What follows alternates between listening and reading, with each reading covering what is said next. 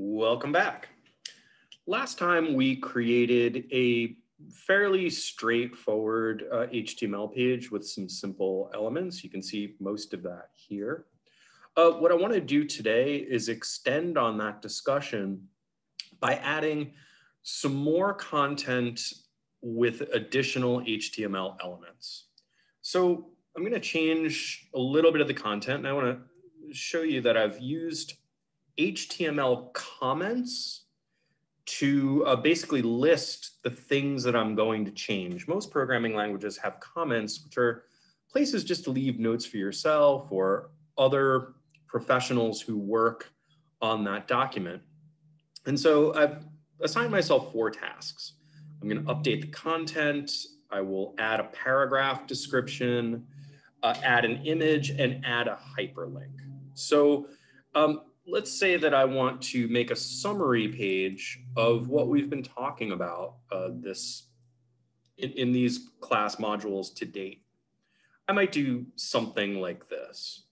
I might say www overview, right? So I'll call that my title, sort of general description of the content.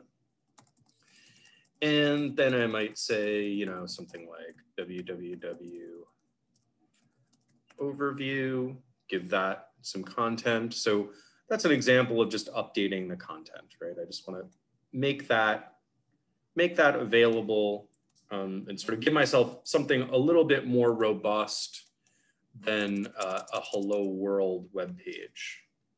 Okay, so now what I want to do is I want to add a paragraph. And if you recall the paragraph element looks something like this. And, uh, you know, this paragraph is just going to be sort of a description of what we're working on. So, uh, you know, I might say something like this website is a summary of the www overview offered to curious people everywhere. And uh, so this gives us an example of a paragraph element that we can use to contrast with the H1 element that we defined above. And uh, these are all things that we've talked about to date. Adding an image is new. And so um, I've actually created three different images here. So um, we're going to add one for HTML, one for CSS, and one for JavaScript, and talk about uh, how to add that with the IMG element. Okay, so um, the IMG element takes uh, an attribute, in this case, source. And so inside source, we have to give the name of the file that we're loading. And so in this case, it's uh, html.png.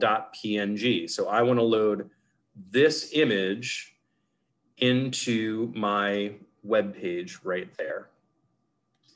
And then uh, finally, we might add uh, sort of a hyperlink, and we've talked about this. Um, so I might add a hyperlink to uh, some of the documentation that I would encourage students to look at and some of the documentation that inspired this uh, series of modules. So HTML basics is a great place to go. So if I were to make a link to this page, what I might do is put that into the attribute. Now I know that sort of makes that role in a way that's a little bit difficult to read. Um, we want to close that tag.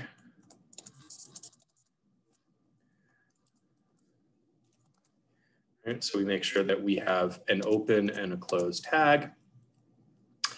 And at that point, I might say uh, MDN web docs HTML basics.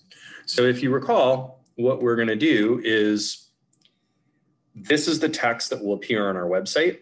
It will appear as a hyperlink and uh, when we click on that hyperlink, it should take us to this location.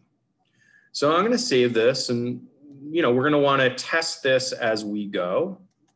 So uh, I can go ahead and double click that file here and let's see how it looks. So we can see the effect of the code that we just created and I'll put it side by side just to um, help everybody piece this together. Okay. So um, you can see that this is our title, www overview, right? So that is coming from our header right here. You can see our H1 tag is www overview as well, and that's coming from this content right there. Then we can see our paragraph. Right below that, our paragraph is marked off here, and you can see that's much smaller text. Then we've included our uh, HTML image with the source attribute, which points to the file that we want to show. And then finally, we have an anchor link, and you can see that it's this con this text that appears like a hyperlink. And we know it's a hyperlink because it's underlined, it's in that sort of special shade of blue. And when you hover your mouse over it, it shows up as a hyperlink. Whenever you uh, work with hyperlinks, you're gonna wanna make sure that they work. So go ahead and click it. And if everything is correct, it should show you the HTML basics uh, document that uh, I highly suggest that you read. So this is just a basic introduction to sort of developing a more robust web page. And the truth is we could spend a lot more time adding more and more content to a web page like this. But at this point, you've seen enough to make your own web pages. So I want to encourage you and your students to use these tags and use these elements and use your knowledge of HTML to construct something that you care about. Next time, we're going to begin our discussion of CSS, that's cascading style sheets.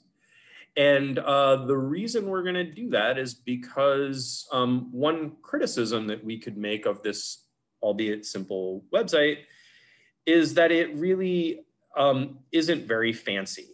Um, this is sort of the default font that comes with the browser. Um, we can do much, much better.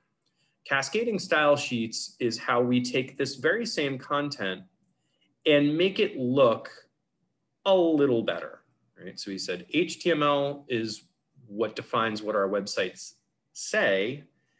CSS is what defines how they look. And so we'll start that discussion in our next module. Until then, have a great time.